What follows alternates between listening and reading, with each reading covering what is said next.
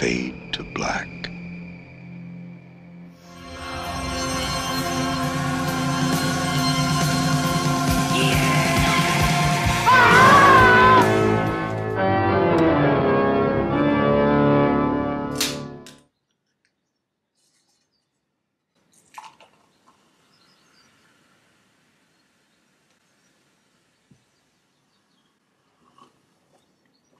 Welcome to the very first episode from the Dr. Pepper Diner.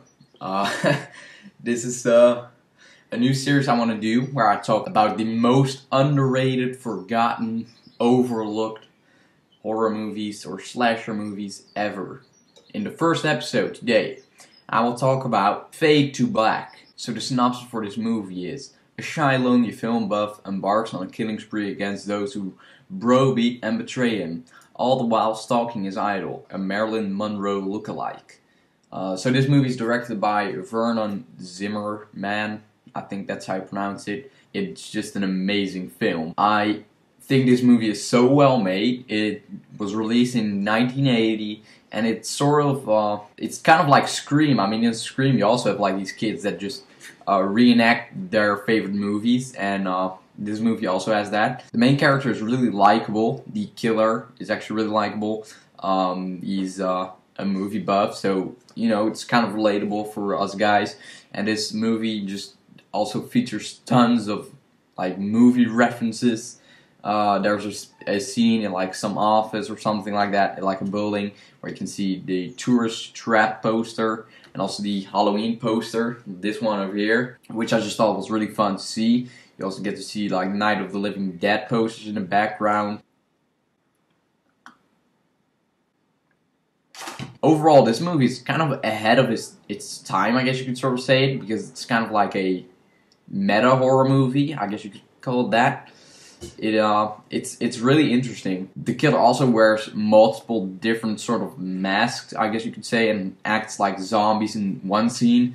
Then he's like a businessman uh, for looking for revenge with guns and stuff in another. So that was really creative and different to see for me because usually it's just like, hey, I have Michael Myers with the white mask, and you know that's it, and Jason with the hockey. Well, uh, yeah, Jason has the sack hat and Uber Jason. Uh, but yeah, mostly wears the same suit, you know, and that's with most killers.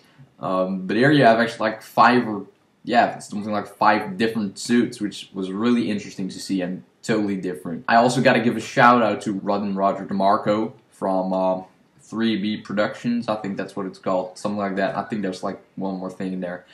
But uh, I also got to give him a shout out because he actually, um, well, I guess you could say he recommended it because he did like a top five movies of 1980, and this was his number two. So yeah, I, I, I really like what he told about it. Uh, he also said that it was really Scream, and I gotta agree. I mean, I told earlier.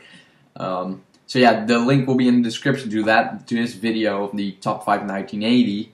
Uh, the number one will get a video on this episode soon too. But the main character has some really twisted scenes, and it's really honestly sad to see him uh, uh, change that much because he's actually a pretty cool guy. I mean, he knows way too much fucking stuff about movies.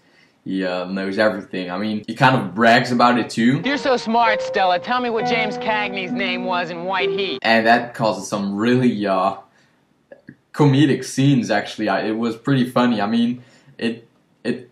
I guess for some people it's kind of relatable. I mean, I don't brag that I know so much stuff about movies, you know. Uh, but it, but it was pretty funny to see because I know some people who do brag about that stuff, and I immediately thought about them. Uh, so that was really comedic. I also really like the soundtrack for this movie. It has uh, like a piano playing, which causes for some really creepy and eerie scenes. This movie is really intense at some points and really suspenseful. Overall, I really enjoyed this film, and I would actually give this one 8.5 Dr. Peppers out of 10. It has a really good pace, really interesting characters, and I'll definitely rewatch this someday soon. It also has a novelization, which I'll also uh, check out because uh, hopefully that'll go more in depth to the main character, uh, Eric Binford. Anyway, I really don't have anything else to say except for thank you guys so much for watching, and I'll see you guys in the next video. See ya. Your pissing me off, Roger.